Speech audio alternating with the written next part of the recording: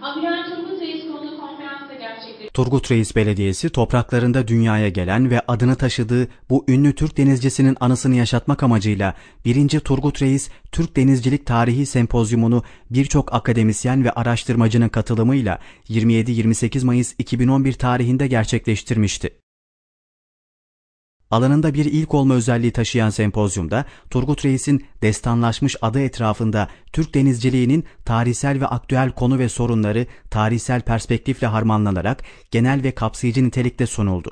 Aynı çerçevede Turgut Reis'in tarihi kişiliğinin gelecek kuşaklara doğru aktarılması ve adının yaşatılması misyonuyla iki yılda bir gelenekselleştirilmesi amaçlanan sempozyumlar serisinin bu seneki organizasyonu uluslararası platformda gerçekleştirilecek.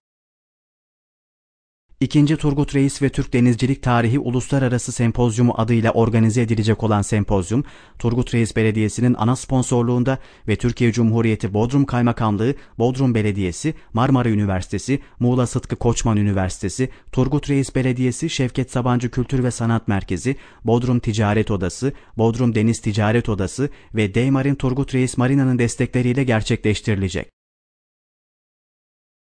Türkiye, Avrupa ve Kuzey Afrika ülkelerinden Turgut Reis ve Akdeniz denizcilik tarihi konusunda uzman pek çok akademisyenin katılımıyla gerçekleştirilecek olan sempozyum 1-4 Kasım 2013 tarihlerinde Turgut Reis'te La Blanche Otel'de düzenlenecek.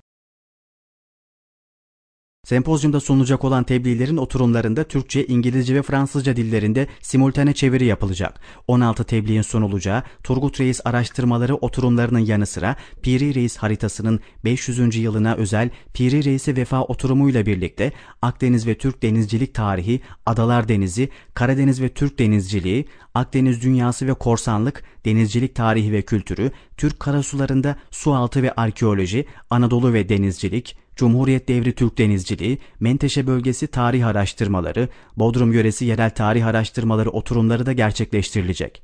Ayrıca bir tarih sempozyumunda ilk defa olacak şekilde kültür ve sanatta deniz ve denizcilik müzeciliği oturumları da düzenlenecek.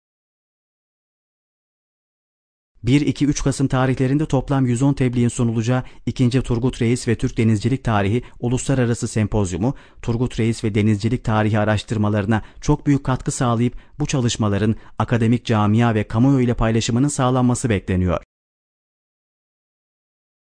1485 yılında şu anda Turgut Reis beldesinin bir mahallesi olan 15. yüzyılın Karabağ köyünde doğan Turgut Reis, 16. yüzyıl Akdeniz denizcilik tarihine damgasını vurmuş, deniz savaşlarında gösterdiği üstün stratejik düşünce ve uygulamalarıyla cesur ve gözü kara kişiliğiyle rakip donanmalarına korku salmış büyük bir Türk denizcisidir.